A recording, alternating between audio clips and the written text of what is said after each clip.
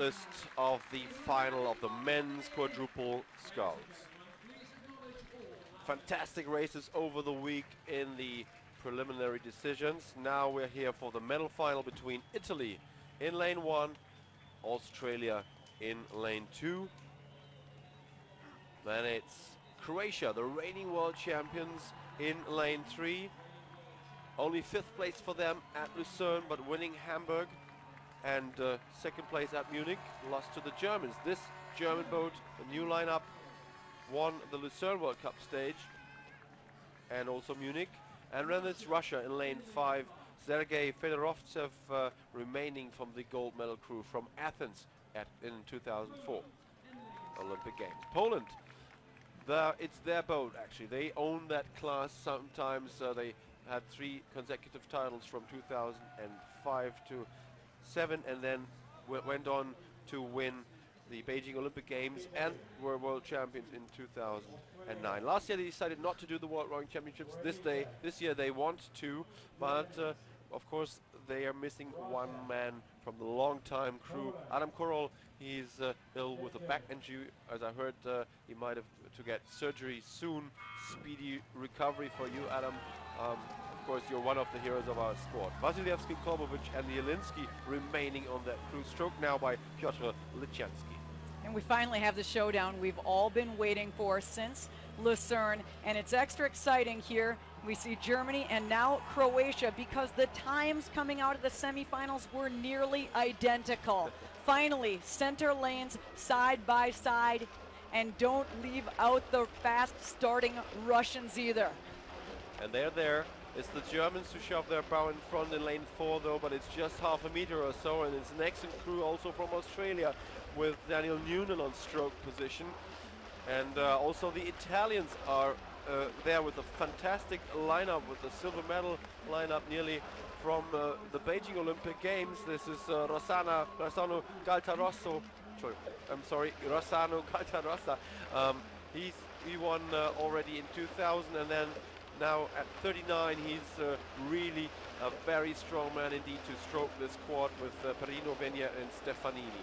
This is the Croatian supporter, of course, lots of them. It's the neighbor country here from Slovenia, lots of them on the grandstand, and they hope for another good performance. The Croatians are good final sprinters, don't let this uh, intermediate result uh, deceive you. It's the Russians, as you said, yes, with a very quick start ahead of the Germans, and then Australia hanging back just six tenths of a second behind.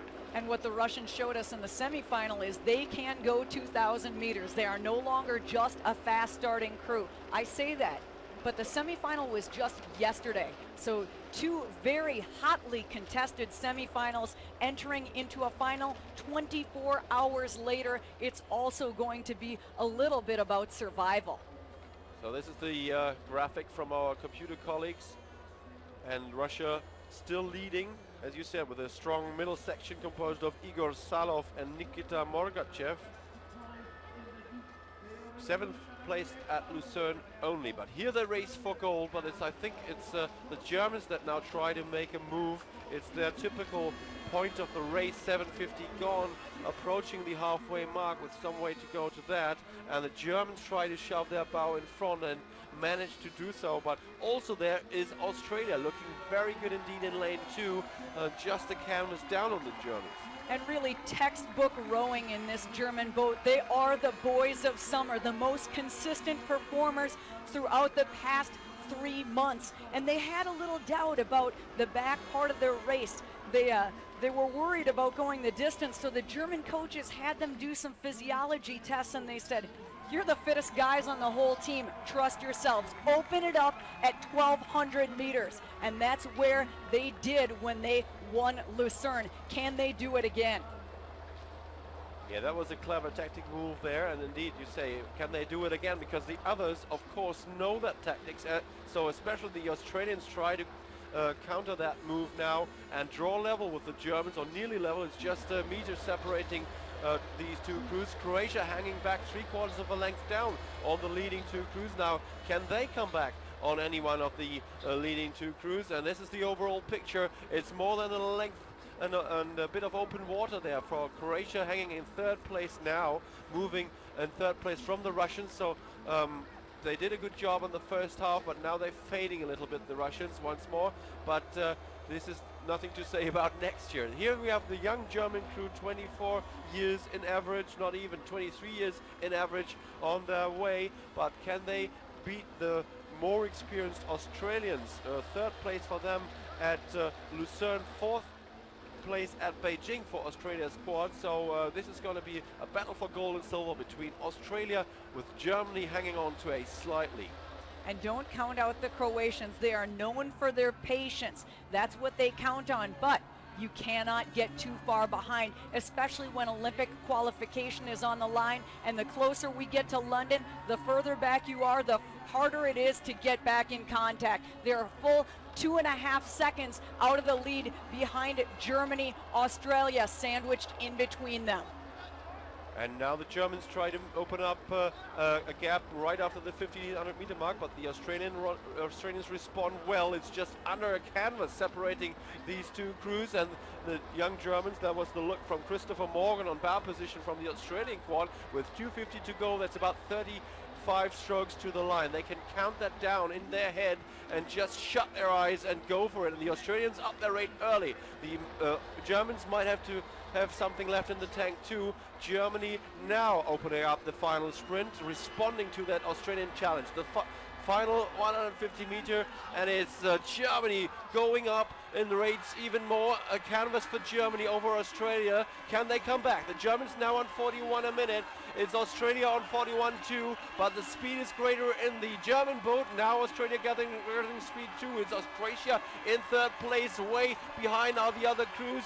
Uh, who's going to win gold or silver? It's Germany hanging on to first place and the greatest speed in the German. Oh, what a crab directly before the line. Can they win gold?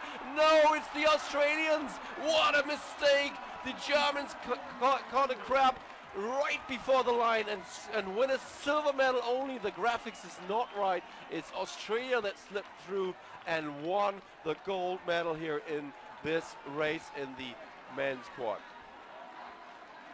We've got the uh, confirmation already. It was 25 hundredths of a second that the Australians won gold, and I'm sure, well, we have all seen who it was. He's such a nice guy, and uh, he will blame himself very much. Lauritz Schoof from um, in Germany, he will recover and come back, and I'm sure he will be on the team to make good for that. But that's our sport.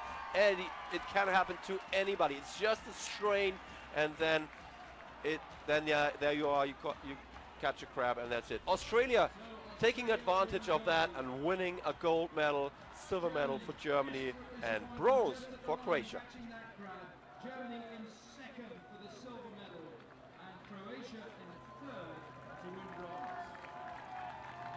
And I think, yeah, there, there you have it. That's uh, Philipp Wende uh, comforting his teammate. It's a sting that's not going to go away for quite a while, but it's the motivation that will be provided from this. It'll give him and the others the edge, absolutely. And not to take anything away from the Australians oh, they, they have it, it, on the screen. Sorry, sorry to interrupt you. Yet. That was that was the, the moment, and he, he caught it, but then he lost it again. Right. And the bow man desperately trying to continue the momentum and get the boat across the line, but he just was so jammed in the water. So number two man stopped as well. So if he would have continued, they might have even made it. But wow, that's a tragedy for the Germans. Good for the Australians. Congratulations to all three crew. They delivered a fantastic race. And the Polish were there too.